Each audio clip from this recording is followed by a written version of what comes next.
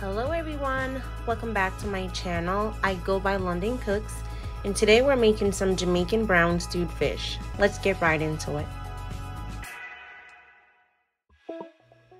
We're first going to get started with our ingredients list, which today we're using Sazon Tropical or all-purpose seasoning, garlic powder, black pepper, ketchup, dark soy sauce,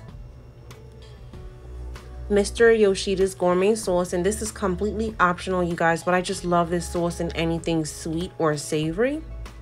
Two really large tablespoons of fresh blend, which I'll also list the ingredients list for that below. A small piece of butter, a half of an onion, one small tomato, a half of a yellow sweet pepper, a few sprigs of thyme, and a small piece of scotch bonnet pepper, along with one carrot, which I did cut into sticks.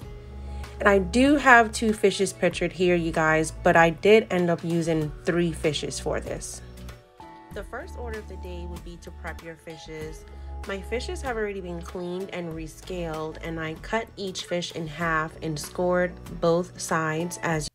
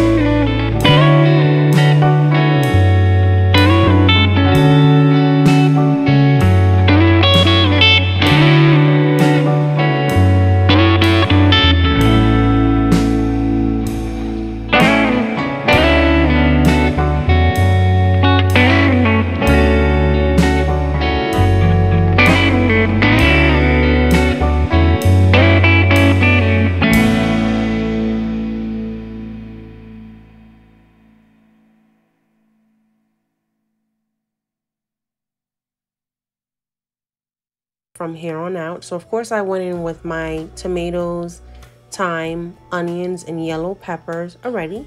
But I reserved a little bit of the onions and yellow peppers and I'll show you guys what I do with that later.